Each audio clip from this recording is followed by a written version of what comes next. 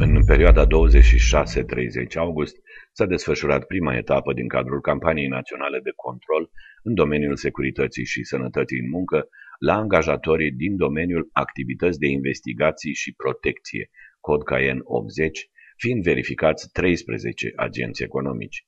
Obiectivele acțiunilor de control au fost diminuarea consecințelor sociale și economice negative care derivă din nerespectarea prevederilor legale de către angajatori, eliminarea neconformităților constatate în domeniul securității și sănătății în muncă în activitățile specifice din societățile comerciale care au ca obiect de activitate domeniul cod CAEN 80, activități de investigații și protecție, creșterea gradului de conștientizare a angajatorilor și a lucrătorilor în ceea ce privește necesitatea respectării prevederilor legale referitoare la sănătatea și securitatea în muncă, informarea angajatorilor și angajaților în ceea ce privește controlele medicale și importanța acestora.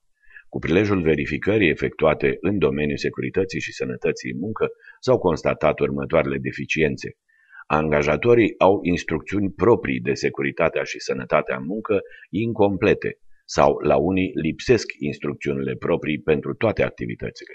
Nu a fost organizat comitet de securitate și sănătate în muncă la nivelul angajatorilor.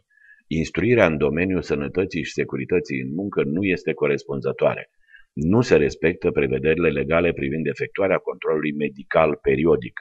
Nu s-au desemnat prin decizie lucrători care aplică măsurile de prim ajutor. Pentru neconformitățile constatate, șapte din cei 13 angajatori au fost sancționați contravențional, deocamdată doar cu 10 avertismente.